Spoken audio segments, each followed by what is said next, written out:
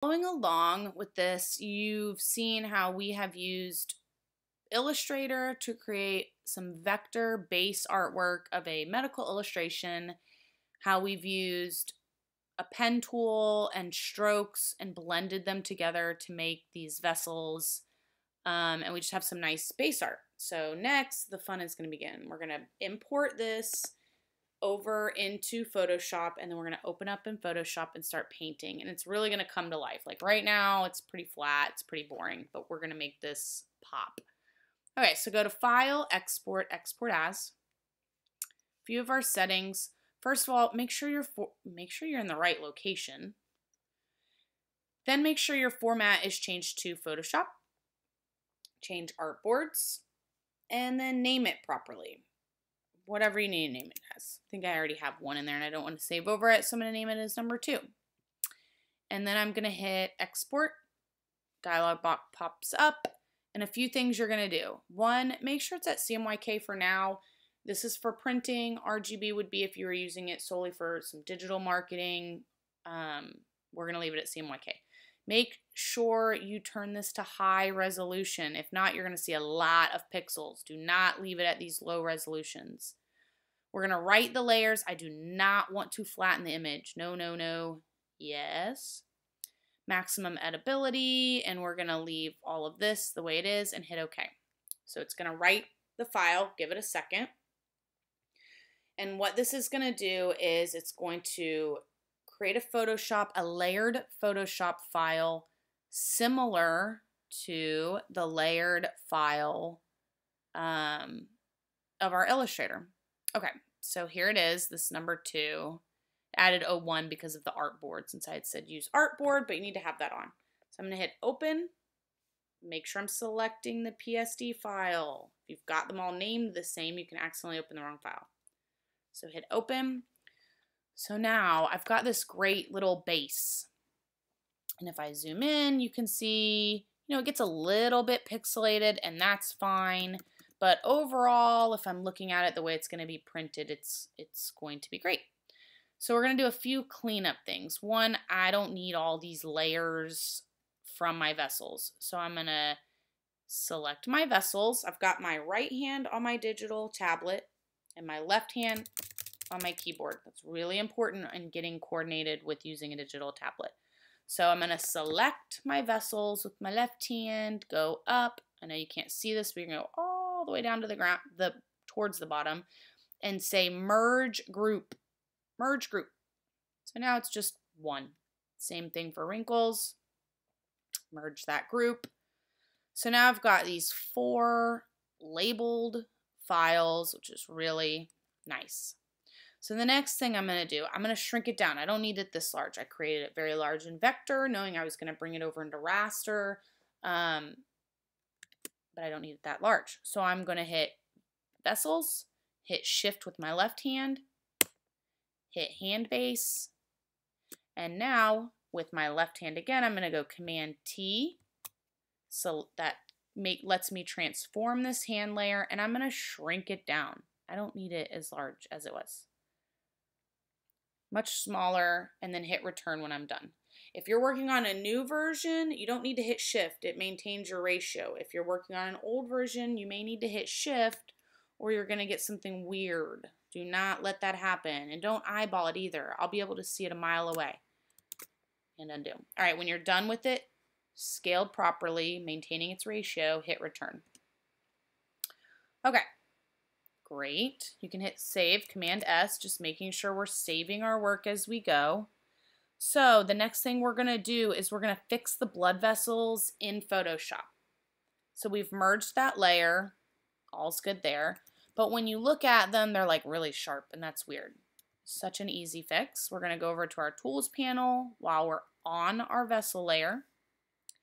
And you can use a combo of the blur tool and the smudge.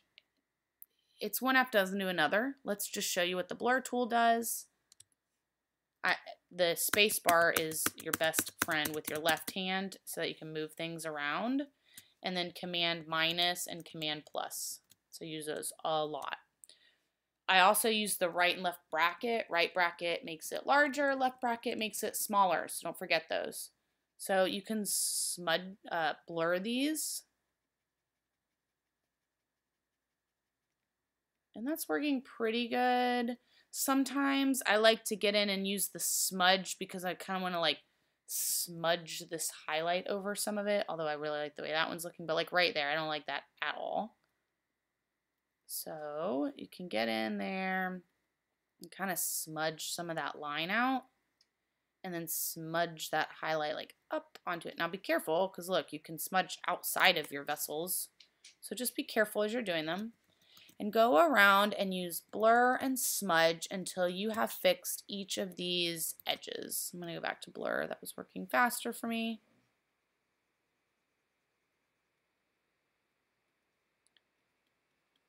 And you want all these smoothed out pop back into the smudge if you need to.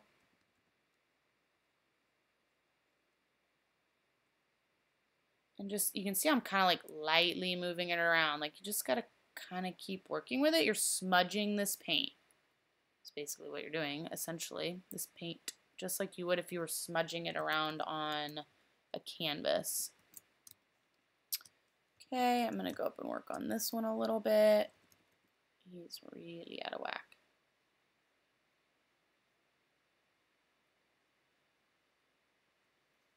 I can always paint over that. Remember, we know how to paint. But I'm just kind of trying to get like a base done without that. Like a quick and dirty, just kind of a quick fix. Good. Go up to these guys. Don't forget about them. Same thing.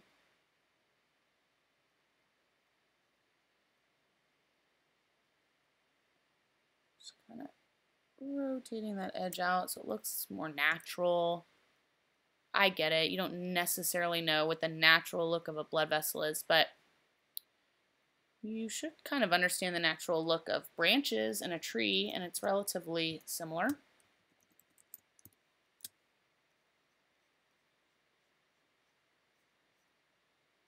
Good. And back out. Make sure we haven't forgotten any. I think we've got them all awesome. Okay.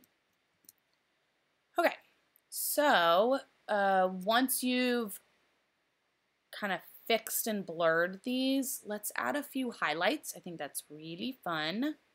We're going to call it vessel highlights.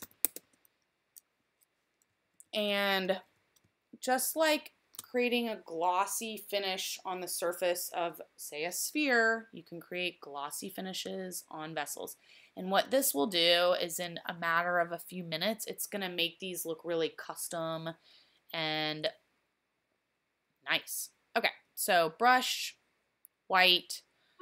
You're not going to see these blood vessels, so it's not like I'm trying to necessarily say, oh, what color is my light source and whatnot. I just want to paint some light. And I'm going to start with this big vessel because that's the one that would grab as much light as possible. I'm going to do kind of similar to I would if it was a sphere. I'm going to go right over, whoop, undo. You can turn down your flow. I'm going to show you how to fix some of these things too. And your opacity, but I'm going to go in And I just love a little extra dot. Now I don't love this. That looks kind of funny.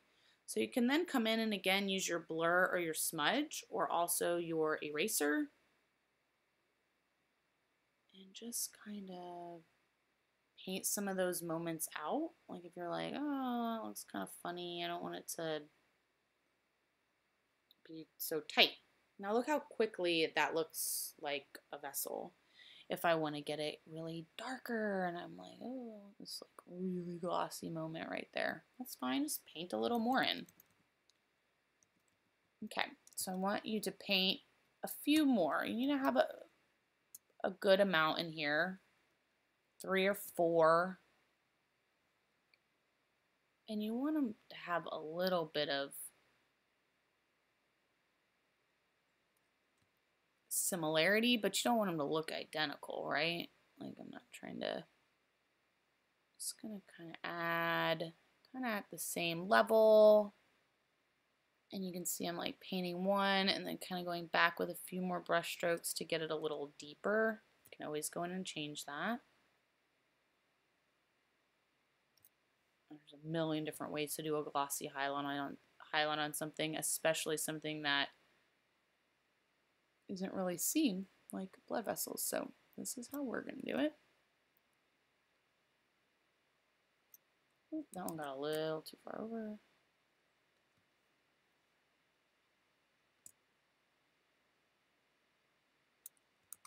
Wobbly. Okay, and then back out. And like, look how nice. Especially this one big one. You know, I may spend more time on doing some more, um, making my brush bigger so you can see what I'm pointing to, but it's just a quick way of making these look more natural, which is fun. Okay, so next I'm going to show you how to use a folder and mask some of this out. Like we've got these harsh edges. We don't want that. So I'm going to grab both of these layers using Shift, click, and then I'm going to hit on the folder. I'm going to call this vessels so I know what the heck I'm working with. And then I'm going to hit this mask key. Oops, I did it twice on accident.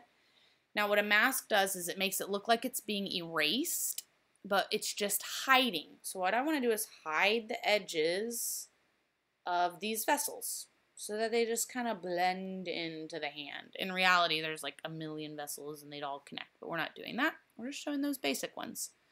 So grab your brush, make sure black is forward. And I like to make my brush kind of large, at least for this, because I want to paint it out really soft.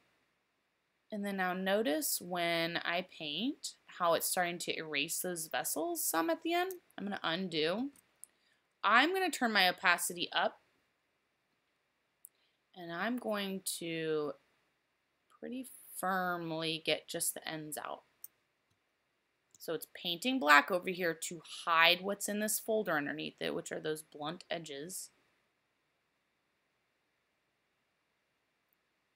And just the way I have my settings and how I like to draw with my tablet, I'm kind of like going back over that. All right, I'm to do the same thing down here at the bottom. Notice it is not doing the hand base because I'm only doing what's inside this folder. I'm not doing that. That's on a whole nother layer. Now look, it's already starting to look really, really good. Um, hit save, Command S. Okay, the next thing we're going to do is we're going to paint some hand details. Okay. And a way I like to do this, like you could just start painting and I could make this new layer and I like to start with the shade personally, usually first. Um, turn that to multiply, obviously, and remember that is because then if we use a black and we paint over this color, it's going to blend it with the color below it so that it's going to look like a dark version of this skin tone instead of just a foggy black. So make sure we have black, We have no opacity there, but if you had some opacity, see how you can see that tan through there? Okay, we're going to undo all of this silliness. And in this shade layer now, I want to paint just a little, just a little around the edges of the hand so that those fingers really look like cylinders and there's a little bit more depth. Now, if I go in and just start painting, like I'm going to paint into everything else. I want to contain that within the hand. So remember how we've made selections before. A really quick way to make this selection is on our base hand layer, with our left hand, we're going to hit Command, and with our right hand, we're going to click on this thumbnail. Now notice I have my dancing ants now surrounding that hand. So now anything I paint is going to be within the hand. Command Z, um, and that's going to help us do some really quick painting around the hand. So go back to the shade layer. You've got to paint in the right layer. If you accidentally start painting while you are in the wrong layer, you're going to have to undo. You will not be able to edit that. It will not come off. So go to your shade layer. With black, I'm going to turn this way down and way down. And I'm just going to do a little bit of painting around to get my hand to look more um, round, like real depth, right? Like you would have some shade, like just like if you were painting this onto a canvas. Okay, and I can already tell right now I do not like the black as much. So another trick is uh, hit your option key on a Mac while you've got your brush. I'm going to select this hand and then I'm going to move it over to a dark brown version. And that's the color I'm going to use instead of black now. And it'll give it a little bit more warmth. And I'm doing some real basic, if I was going to have kind of an upper left um, light source, I'm not addressing a light source much with this. This isn't really necessarily about a light source. This is about painting, learning a little bit of vector illustration and how you can tie in some vector illustration with um, raster illustrations and what that can mean. Now I'm looking down at my hand too, by the way, so you need to as well. That's your best um, model, which is one of the reasons why I use this as a lesson because your hand is there and you've got it to use. So I can also see kind of at this junction of the hand is where my knuckle is. And based on my semi-ish light source, if this was a sphere, this bottom right of the sphere of my knuckle is what's going to be dark. So watch, I'm going to paint a little bit. Just a little. Just on this side, like there was a sphere right here showing this knuckle. Just like if I was painting a sphere. Hmm, should be pretty good at this. Now this hand, this thumb takes on a much darker when I'm looking kind of down at my hand and you can see right away, look, just that little bit of shading that we've done, it's already starting to look like a hand. Now, the last thing I kind of want to make sure I'm addressing, I don't, is my tendons running from the tops of my fingers down. And there, if they ran straight, then the right side of them should have a little bit of shade. So if this is my meet point, I'm going to draw some shade to that point. I'm not going to address it much with the thumb because the thumb should just have a lot of darkness as it turns that corner. A little too dark.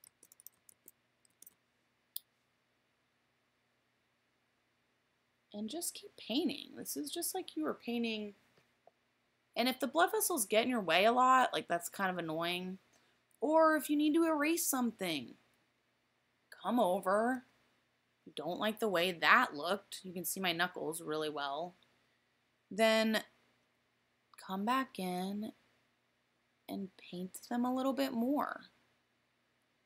Erase them, paint them until you're much more comfortable.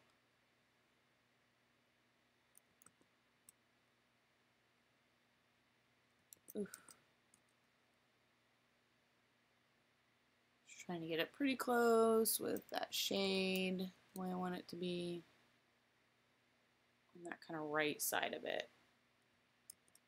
And I'm going to cover this some with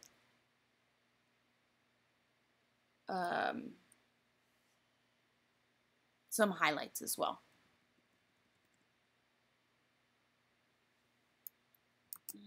That, okay. Not so bad. Now, I painted the shade around.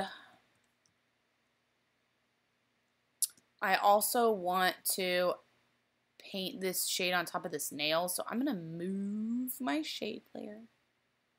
I'm going to move it up on top of my wrinkles.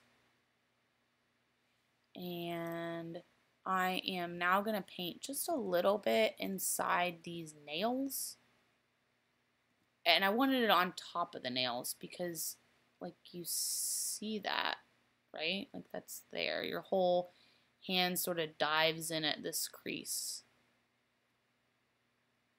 We're almost done with shade, which I find to be so much fun. Just a little bit Got that beautiful sharp line already done for us. Okay. So Command D is going to take off these dancing ants, right? And now we can go in and do some highlights. Now you may need your hi highlights if you don't want them to go everywhere. Um, that's kind of up to you on how you work. I don't necessarily need everything selected, but if you do need it, just remember you can go to Command and add that in. Um, and then we can paint some highlights. So I'm going to go back to my paint. I'm going to option select and I'm going to move way up so that I get a highlight version of my skin. And I'm going to come in for a few little moments And while I'm in my highlight layer, I'm going to paint now kind of that left side of my knuckle and those tendons. Hide.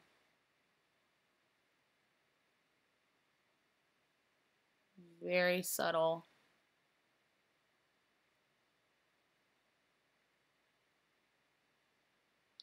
I'm going to draw a little bit down my finger so that I've got a little bit of highlight that ties in with that.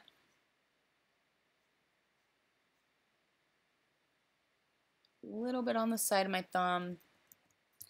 You could come in here, I'm going to Command D to get the dancing ants off, and you could really paint some glossy highlights if you wanted, like on these nails.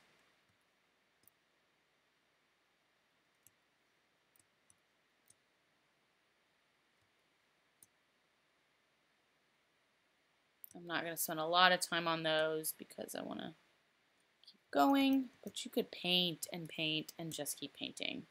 So I've got this decent hand. I've got this nice set of vessels, and we're going to do a few more finishing touches with adding a cast shadow and the background. So I'm going to come in, I'm going to make a new layer, I'm going to drag it all the way down below hand base, and I'm going to call it Oops. Cast shadow. Spell it correctly.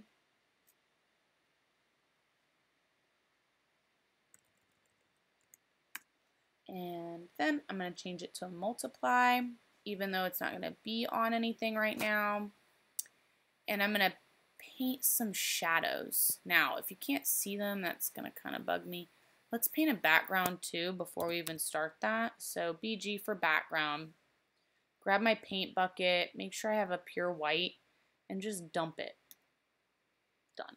Now I have a white background. That helps us see a little bit. Go back to my cast shadow, multiply layer. Grab my paintbrush, have it kind of soft, have it kind of turned down, have it a decent size. Now, if it was on a white, could I use black for my shadow? Sure, but probably the better option is to grab a deep color from my hand. Very deep color. And I'm going to paint a shadow now below this hand, like it's casting, like this hand is sitting kind of on a little bit of white paper for this. And watch how quickly this is going to turn into a hand for us.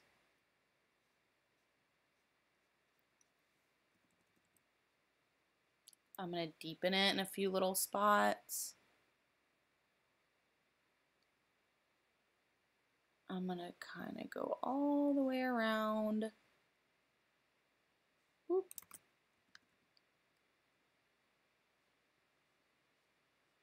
And add some real depth in. And look, it's like popping off the page now. I love a good custom shadow. I think that it can make or break some uh, an illustration. Make it always. So, again, watch how quickly. Ooh, mine's gotten stuck. Undo. Watch how quickly this transforms our illustration. And we're almost done. I don't know what is happening with mine, but we'll undo those And we're just going to paint a little bit more on this far side to get it to really anchor down, get a lot on that palm so that it really sits in that moment right there. A little bit up in here because you would see that. Now look, look how quickly we've got that. Now the only thing that bugs me is this funny arm and how it just stops. So the easiest way to fix that is put everything in a folder and mask it. Grab all these layers. Actually, I'm going to leave the background layer. Grab vessels down to cast shadow. Group them up. Add my mask. Black brush, kind of large. And I like, for this type of masking, when I know I'm trying to get rid of an edge, I keep it usually at 100. And now I'm going to paint along this bottom edge and just kind of smooth it out a little bit and hit save. Voila. Now you've got this really nice medical illustration and it didn't take you forever.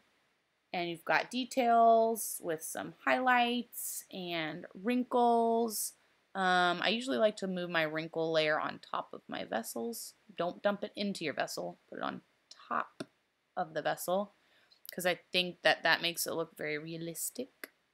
And if you need to add some more in, like I want to paint a little bit more shade in um, at this point around the knuckle maybe. Just noticing that I didn't address it much. Make sure I'm not going out of it or select your hand so that you're not. And I can always paint, whoa, command undo. I can always paint a little bit more. You can always go back. It's a painting. You're just painting it. And because you're doing it on all these layers, you're really giving yourself the opportunity to edit very easily and create a lot of depth for yourself. Um, so good job. Hit save and you're done.